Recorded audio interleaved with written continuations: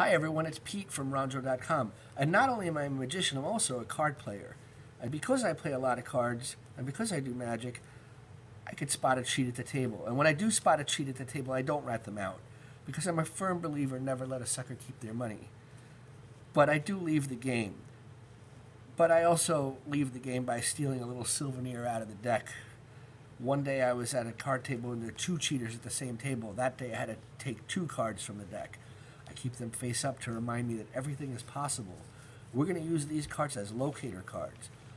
I'm going to deal face down in a pile, one card on top of the other until you tell me when to stop dealing.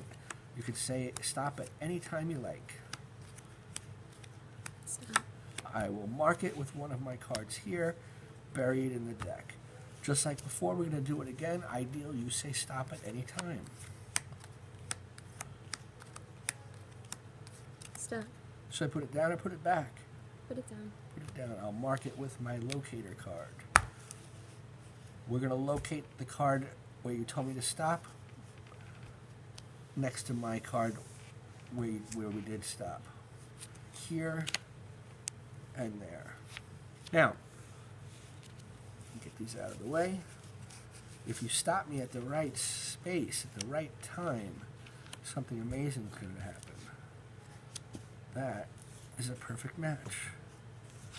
That is a perfect match. Now, you can't match the faces, obviously, because otherwise I'd be a cheat. I don't want to cheat.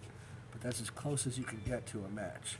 Now, the funny thing is, when I steal a card out of the deck, I'm prone to stealing my lucky card, which is always the Queen of Hearts. But that day I had to do it a little differently.